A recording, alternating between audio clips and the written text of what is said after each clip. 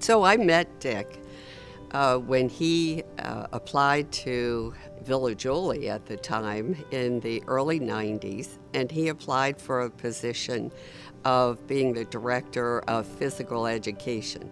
At that time, we did not have any phys ed classes on campus. Uh, we had no athletic teams on campus.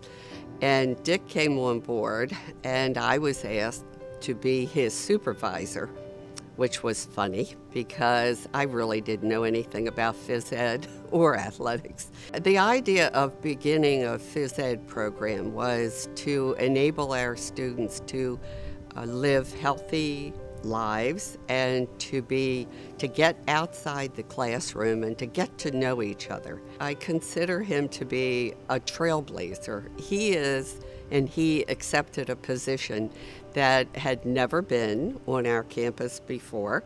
Um, he was somebody who goes ahead of other people, and uh, I think that we were able to follow him. He was the leader. Through his character, uh, he led with dignity, he uh, leads with honesty um, and was able to get our whole athletic program started.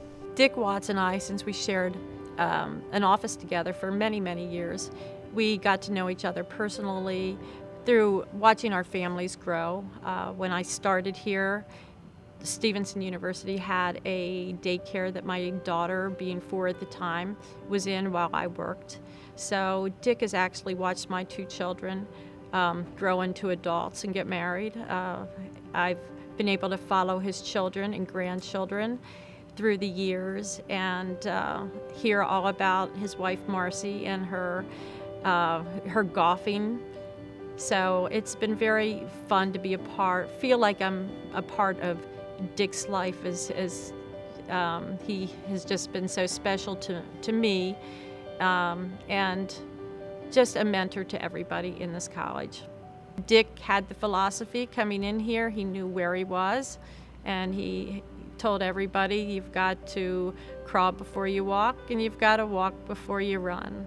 Um, that was how Dick approached everything.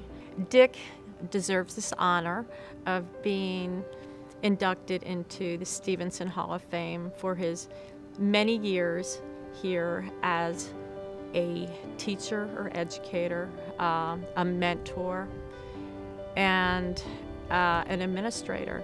He has done so much to guide all of us. Many of us have been here, or few of us who have been here 20 years or more. He was so instrumental in guiding us uh, to where we've gotten to today. So, Dick Watts, congratulations.